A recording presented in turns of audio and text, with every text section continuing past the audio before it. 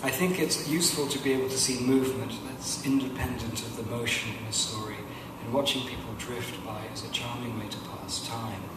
Um, when I, I write, I, I, like to see motion somewhere else, motion that's happening independent of me. Um, I think it's Margaret Atwood who writes with a photo of herself on the desk, um, which is interesting, sounds narcissistic, doesn't it?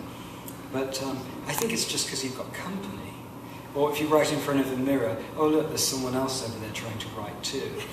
Um, because, you know, being a writer, you spend hours and hours sitting in the same place.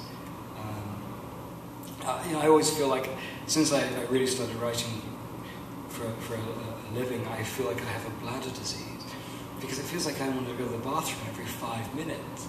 But it's not, of course, it's every 15 minutes. No, it's every two or three hours. And the thing is, you're sitting there for so long that you just, uh, you know, morning becomes night.